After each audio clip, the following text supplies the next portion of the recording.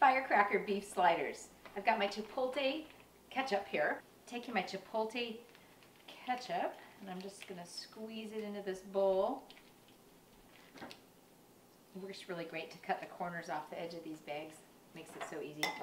Stir it up. Okay, let's make the sliders.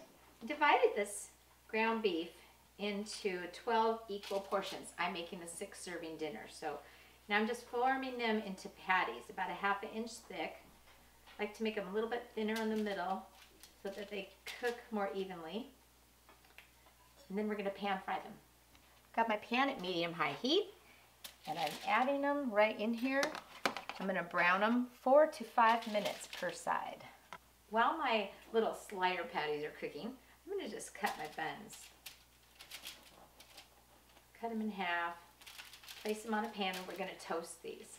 All right, my sliders have been cooking for five minutes. And I'm flipping them over. I'm gonna cook them for another four minutes.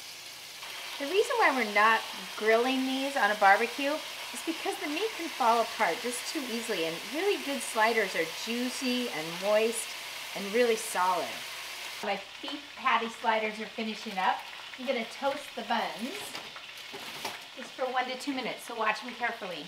Topping the bun with one slider patty we'll top it with cheese and we'll finish and put these together.